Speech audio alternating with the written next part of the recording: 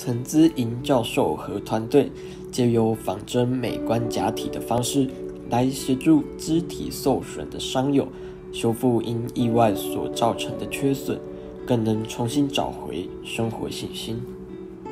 伤友，尤其是烧烫伤或者是意外的朋友，比如说呃气爆啦，吼的这一些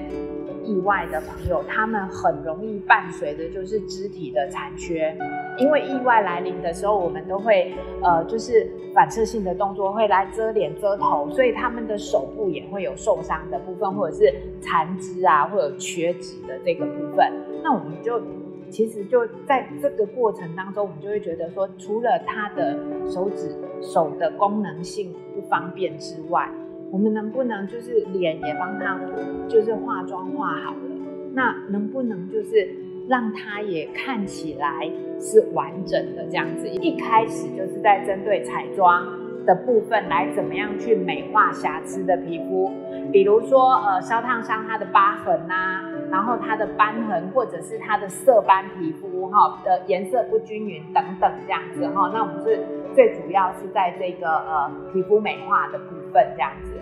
不仅如此，伤友在形象重建的过程，除了遮瑕、修饰、化妆，还加上了妆法技术的辅助，使修复能更加的全面，也让伤友能看到希望的曙光。因为你你一般你想要一个人，如果今天你只是化了妆。然后这个发型乱七八糟的，那你就想想看，他是感觉怎么样？对，我画一个大浓妆，然后我这个发型就这样乱七八糟的，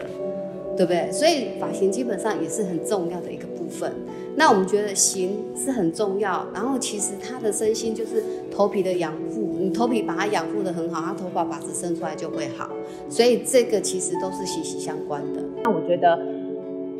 我们学习这件事情，除了让人的外表变得更好，